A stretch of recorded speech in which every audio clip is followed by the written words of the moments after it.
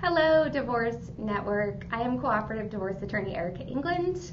And I'm Neil Forester, certified family law specialist here at Forester Purcell Stoll. You know us from our weekly live radio show, Split Decisions. It is designed to help everyone who's impacted by divorce, and everybody is in some way, right? That's absolutely right. All of us. Even if you're not divorcing yourself, you might be dating someone who is, or be a child of divorce, or even have a friend or a family member that you want to help make better split decisions, and we want to help you do that. Absolutely right. So today we are here with the number one consideration for parenting plans, something I see go terribly wrong all the time as a mediator and as a family law attorney.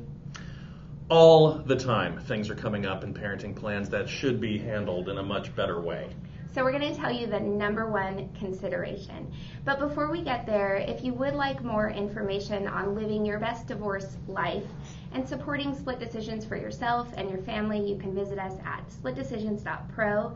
We'll also be coming back every week with new content for you, video series, blogging, to give you more information and support. Very exciting.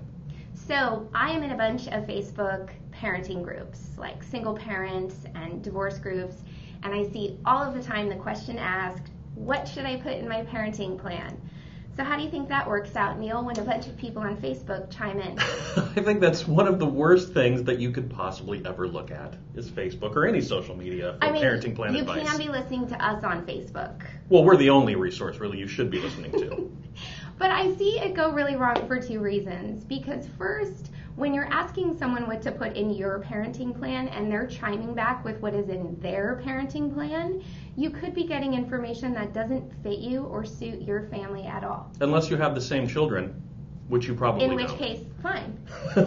and it also goes wrong because parenting plans really often contain provisions that are just unenforceable and that put parents in a position to create unnecessary conflict in the future.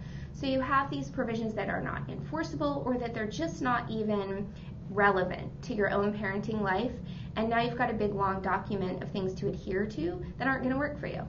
That's true. And you know, it's okay to rely upon people that you know, friends, family, for advice about what's good in a parenting plan and what's not good in a parenting plan. But there's really nothing that should be set in stone that's not specific to your uh, dynamic. Before we get there, Neil, exactly what is parenting plan? A parenting plan is just a day to day. You know, where are the kids going to be? Uh, which parent is going to be responsible for what activity? Um, just to monitor, you know, the, the kids, um, really their location and their activity on any given day. Day to day schedule.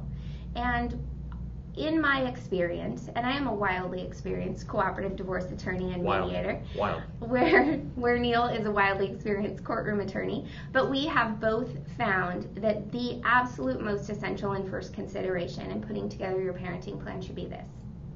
How much structure versus how much flexibility is going to suit your own family's needs. And Neil and I were just talking about this. Neil had an example of a unique parenting plan that seemed to work very well in a way that we wouldn't have expected. Yeah, that's right. So I had uh, these two people. I, I, was representing mom, um, and this was a very high conflict case. They fought about everything on the property side. So we're talking about spousal support, child support, who is going to get the house, who's going to get the retirement accounts, and it was a mess. Every single day was a new problem. They had two kids, and the parenting plan was one line, and One it line. worked. It was the parents shall, shall share custody as agreed, and it worked for them. And typically, when we see people that are very high conflict, we would think, oh, you're going to need a very structured parenting plan. And this is a good example of why the parenting plan you think you need and the parenting plan you actually need might not be exactly the same. Exactly. So, a highly structured parenting plan, Neil, might look like what? Well, you could have a 50 page parenting plan that notes for the next 10 years where the kid's going to be every calendar day of the year. that might be a little extreme of an example, but you can be very, very specific from year to year in terms of where the kids are going to be from, uh, from day to day. When the child, for example, can have training wheels taken off their bikes. Exactly. I saw in a particular matter. Something like firearms in the home and when the children can have access to firearms. Crazy. That's its own topic. for another day. And anything from days and weeks of pickup to what parents do when one or the other is out of town. Yeah. On the other hand, a really loosely structured parenting plan or a highly flexible parenting plan might look like what? Well, just like kind of the example that I gave, it can be very open ended. Uh, it can be the parents shall share custody as they decide is best for the kids, or it can just be very loose, like week to week custody um, is fairly common without too much structure. And then the parents just kind of do what the parents do. And as long as it's good for the kids, then it works. And often in mediation, we see parents working together in a very unstructured parenting plan, perhaps because one parent has a travel schedule that's crazy, or the children are quite young, or I've even had parents that live on the same street or on the same block and they have a very fluid arrangement. But typically, what I see is that people fall somewhere between the range of highly structured to highly flexible. And the question that we recommend you ask yourself first is where do you need to fall in that range of structure versus flexibility? So, how much specific detail is going to be important to you versus how much flexibility are you going to want or need in your day to day arrangement? Typically, a high conflict family would need more detail. You would think. But not always. And a, a, family that's lower conflict or that has younger children often can work better on a less structured parenting plan. Understand too that those parenting plans are always going to be modifiable uh, given the kids' ages, their activity levels, where they are in school, just the ability for the parents after the, the, the divorce or after the end of the relationship kind of mellows out and they're yes. communicating better. Sometimes those parenting plans get a little easier to handle. So if your if your child is two and you're already deciding where the child is going to go to private high school or public high school, you might be getting a little bit ahead of yourself. Because a parenting plan is modifiable, focus on what you need right now and how much structure versus how much flexibility you might need right now. Absolutely. Now, sometimes we have one parent that likes a lot of structure and one parent that likes a lot of flexibility. Often we have really different personalities in divorce. So, I have two recommendations in that particular instance. And the first is to think about the temperament of your child. I have one child who is very structured, and the first thing she likes to do every day is to think about what she's doing the day today and what her plans are. I have another child who's like a four year old fraternity boy. He'll just go anywhere, do anything, and have a great time. Into hazing rituals? Not yet. Let's hope Hopefully not. never. Um, so with my children, because I have one that's highly structured and one that's really flexible, the parenting plan that works for them is going to be to adapt to the more structured child.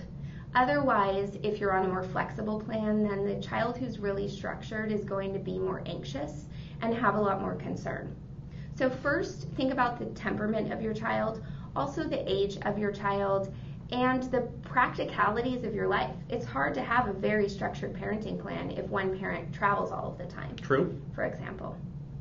Second, though, look at the temperament and the needs of the parents involved. One parent who's highly structured and one that's flexible, just like with two different children, erring on the side of the more structured parent can make you both more comfortable. Exactly.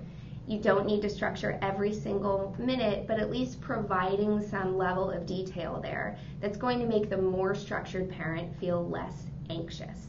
And you can always add in flexibility. Just because your court order says that mom has Wednesday night dinner, if it comes time that mom's not able to do Wednesday night dinner or would like to do it on Tuesday nights, well, it's in the court order, so. It must be enforced, right? Unless they agree otherwise. Exactly. And very often we see parents agreeing otherwise. So, putting together a parenting plan, instead of looking outward to what other people are doing or what you see in some format on the internet, we suggest that first you look inward at your own family, at your temperament and the temperaments of your children, at the practical needs of your life and the scheduling issues that you might run into and look on a structure of structured to flexible and see where you think your family needs to fit. If you're highly structured, you're going to want specific dates, hours, holidays, details. If you're loosely structured, you might just say, for example, this is the parent that has Christmas Eve and Christmas Day, but everything else can be resolved by agreement. But starting by answering that threshold question is really one of the best ways to put together a parenting plan that's going to work for you and your children. and keep it loose. I mean, the things are going to change, and, and look after the needs of your kids and uh, what they want, what they need, they'll tell you, and you'll see it. So communicate together effectively. I know it's easier said than done uh, in this, these kinds of situations, but over time, things should get easier.